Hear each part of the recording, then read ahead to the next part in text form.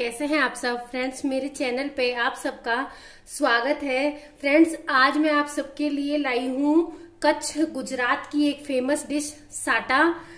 और एकदम पारंपरिक तरीके से मैंने ये साटा बनाया है। तो फ्रेंड्स आप मेरी वीडियो अंत तक देखिएगा कि किस तरह से मैंने गुजरात की हमने ये डिश बनाई है, जो कि बहुत ही टेस्टी बहुत अच्छी लगेगी। फ्लेवर आप इसमें जो चाहे वो फ्लेवर आप इसमें डाल सकते हैं। फ्रेंड्स किस तरह से एकदम अंदर तक सिका हुआ और क्रिस्पी हमारा ये साटा बन करके और तैयार होगा। फ्रेंड्स अगर आप मेरे टिप्स ध्यान में रखते हुए साटा बनाएँगे तो आपका साटा भी इसी तरह का बहुत अच्छा और बहुत टेस्टी बनेगा।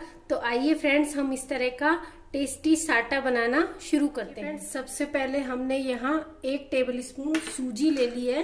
ये वाली एक टेबल स्पून भर के अच्छे से फुल हमने सूजी ले लिए और चार टेबल स्पून हमने ये दही लिया है। थोड़ा सा हम इसमें दो चम्मच दही डालेंगे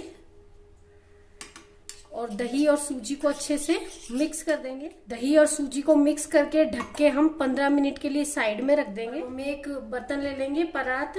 उसमें हम, हमने यहाँ सवा कप मैदा लिए है। ये एक कप भर के और ये एक चौथाई कप 250 ml वाला हमारा मेजरिंग कप है। 60 ml का हमारा सवा कप एक चौथाई कप है। इस तरह से हमने सवा कप मैदा ले लिए। सबसे पहले हम इस मैदा को छान लेंगे।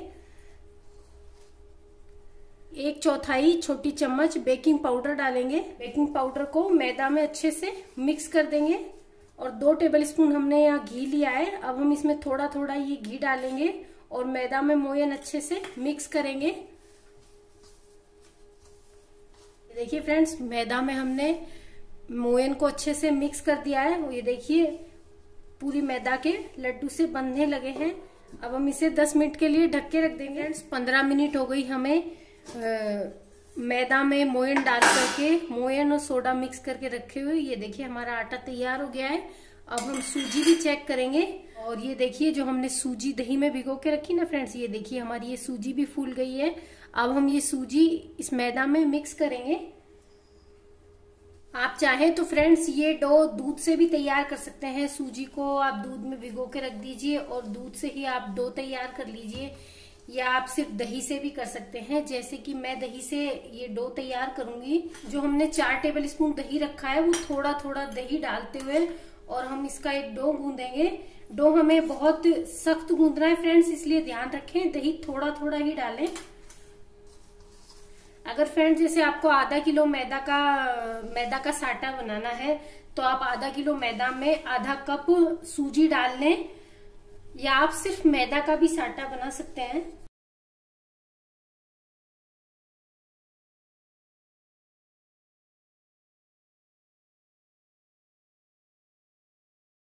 ये देखिए फ्रेंड्स, हमने एकदम सख्त डो गूंद करके और तैयार कर लिया है।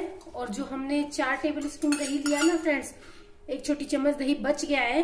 अब हम इसे पंद्रह मिनट के लिए इस तरह से फिर से ढक के रख देंगे।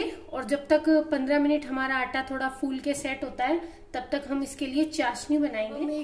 कोई भी बर्तन ले लेंगे चाहे तो भगोनी ले लें। गैस की फ्लेम को हमने मीडियम कर दिया है।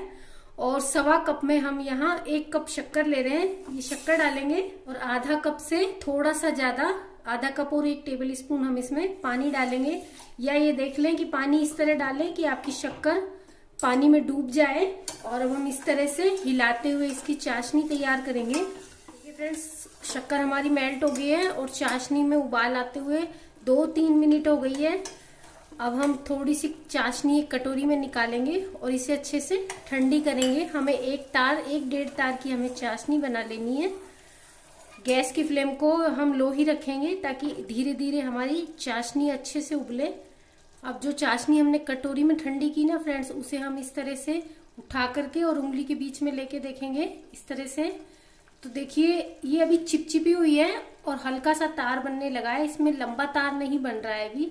तो हम इसे तीन चार मिनट और पका लेंगे लो फ्लेम पे ही। अब तीन मिनट हो गई हमें चाशनी को लो फ्लेम पे उबालते हुए। और वो हम फिर से इसी तरह से थोड़ी कटोरी में निकालेंगे और इसको थोड़ी ठंडा करेंगे। और ये देखिए, फिर से हम इस तरह से चेक करेंगे। ना फ्रेंड्स आप ये तार बन रहा है। बस ये हमारी चाशनी बनके तैयार हो गई है। ये देखिए, ये हमारा तार बन रहा है। अगर हम इसे और तीन चार मिनट पका देंगे तो हमारा और लंबा तार बनने लगेगा, यानी हमारी दो तार की चाशनी हो जाएगी। लेकिन हमें एक से डेढ़ तार की चाशनी चाहिए। तो ये हमारा तार बनने लगा है। फ्लेवर के लिए हम चाशनी में इलायची पाउडर डालेंगे। आप चाहे तो इसमें रोज वाटर भी डाल सकते हैं। यहाँ मैंने चौथाई छोटी चम्मच इलायची पाउडर डाला है। डाल के और अच्छे से मिक्स कर देंगे। ये देखिए, चाशनी में झाग बनने लगे यानी हमारी चाशनी बनके तैयार है। अब हम चाशनी को दूसरी गैस पे उतार के रख देंगे और इस पे हम तेल गरम रखेंगे। हमारा लो फ्लेम पे तेल गरम होके और तैयार होगा, तब तक हम साटा बना के तैयार करेंगे। फ्रेंड्स, आप चाहे तो ये साटा घी में भी फ्राई कर सकते हैं। आटे को रखे हमें 20 मिनट हो गई है। ये देखिए, हमारा आटा कितना सख्त है। अब हम इससे एक लोई तैयार कर लेंगे और लोई को थोड़ा मोटा बेल लेंगे।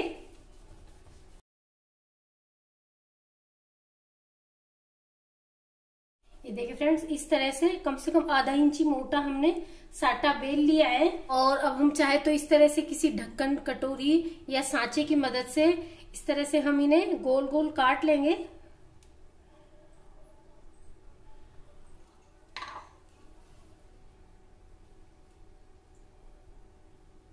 देखिए इस तरह से इस तरह से हम सारे इसमें से निकाल लेंगे और साइडों के आटे को हम फिर से इकट्ठा करके फिर से बेल लेंगे। देखिए फ्रेंड्स, ये हमने साटे की पूड़ी बेल करके तैयार की है। इसको अब हम अच्छे से इसमें इस तरह से दोनों साइड इस तरह से घुमाकर और दोनों साइड अच्छे से हम इसमें छेद कर देंगे ताकि ये अच्छे से अंदर तक सीखे और जब हम इन्हें चाशनी में डालें तो इनमें चाशनी भी अंदर तक अच्छे से जाए। इसके लिए हम इस तरह दोनों साइड ये देखिए, दोनों साइड हम अच्छे से छेद कर देंगे सब पे और इन्हें एक प्लेट में रख लेंगे। गैस की फ्लेम को हमें लो ही रखना है फ्रेंड्स और लो फ्लेम पे इन्हें फ्राई करना है। हम तेल चेक करेंगे तो ये देखिए, नीचे गिरा हुआ ना, बिल्कुल हल्के हल्के से बुलबुले उठ रहे हैं। बस इसी तरह का हमें हल्का गरम तेल चाहिए। मीडियम फ्लेम लो फ्लेम पे अब हम इन्हें इस तरह से धीरे धीरे फ्राई करेंगे। एक बार में फ्रेंड्स हमने इसमें आठ ही डाले हैं, ज़्यादा नहीं डाले हैं, और अब हम इन्हें इसी तरह से लो फ्लेम पे कम से कम दो तीन मिनट पहले थोड़ा फ्राई होने देंगे, फिर हम इन्हें पलट के चेक करेंगे। देखिए फ्रेंड्स हमें साटे को जैसे हम बालूशाही एकदम लो फ्लेम पे धीरे धीरे फ्राई करते हैं ना, बस उसी तरह से हमें साटे को फ्राई करना है। देखिए, तीन चार मिनट में ये सिर्फ़ ऊपर उठ के आया है और इसमें किस तरह से लेयर दिखने लगी है, अब हम इसे एक बार इस साइड से पलट देंगे और इसी तरह से हम दो तीन बार उलट पलट के अच्छे से हम इन्हें गोल्डन ब्राउन होने तक फ्राई कर लेंगे ताकि ये अंदर तक अच्छे से सिक जाए। इस तरह से पलटते हुए हम इन्हें अच्छे से दोनों साइड से गोल्डन ब्राउन कर लेंगे। ये फ्रेंड्स लो फ्लेम पे फ्राई करते हुए हमें लगभग इन्हें 12 से 15 मिनट हो गई है और आप देख पा रहे हैं ये गोल्डन ब्राउन हो गई है, अच्छे से सिक गई है। और आप ये भी देख पा रहे होंगे कि हमारी एक एक साटे में किस तरह से लेयर दिख रही है। हमारे साटे फूल गए हैं। अब हम इन्हें एक प्लेट में बाहर निकाल लेंगे और इसी तरह से हम बाकी के सारे साटे फ्राई कर लेंगे। गैस की फ्लेम को हमें लो ही रखना है और लो फ्लेम पे इस तरह से हम सारे फ्राई कर लेंगे। जो हमने फ्राई करके साटे तैयार किए ना फ्रेंड्स, इन्हें हम जो चाशनी हमने बना के रखी है, उस चाशनी में डाल देंगे गरम गरम ही, और इस तरह से हम इन्हें ऊपर नीचे कर लेंगे। एक एक मिनट में इस तरह से अच्छे से ऊपर नीचे कर देंगे, ताकि ये अच्छे से चाशनी पी ले, और हम इन्हें कम से कम चार पाँच मिनट इसी तरह चाशनी में रहने देंगे, उसके बाद हम इन्हें बाहर निकालेंगे। ये देखिए फ्रेंड्स पाँच मिनट हो गई और इनकी चाशनी जमने लगी है। अब हम एक एक साटा बाहर निकालेंगे और इस प्लेट में हमने घी लगा करके तैयार कर लिया है। इस प्लेट में हम इन्हें रखते जाएँगे। इस तरह से। अब आप चाहें तो इस पर सूखी हुई गुलाब की पंखुड़ियाँ और पिस्ता डाल सकते हैं। और थोड़ी थोड़ी ऊपर से चाशनी और डाल दें। इस तरह से अगर चाशनी ऊपर से थोड़ी और डली हुई होगी तो साटा बहुत अच्छा लगेगा। जो बाकी के बचे हुए साटे हैं, जैसे हम उन्हें दोबारा डालेंगे तो चाशनी हमारी गाढ़ी होने लगी है, हम इसे ढक के रख देंगे, या फिर इसे हल्का सा लो फ्लेम पे फिर से गर्म कर लेंगे, और बाकी के बचे हुए साटे हम इसमें डाल करके और इसी तरह से साटों पे हम चाशनी चढ़ा करके और तैयार कर सकते हैं। फ्रेंड्स हमारा साटा बन करके तैयार हो गया है। अगर आप जो बातें मैंने हम वीडियो में बताई है, वो ध्यान रखते हुए आप साटा बनाते हैं तो आपका साटा बहुत ही अच्छा बनेगा। तो फ्रेंड्स आप इस तरह से ये देख पा रहे ना, देखिए, कितना एकदम शक्कर से भरा हुआ क्रिस्पी हमारा साटा बनकर के और तैयार हुआ है। तो फ्रेंड्स आप इस तरह से मेरी वीडियो देखते हुए साटा बनाइए, खाइए। Thank you for watching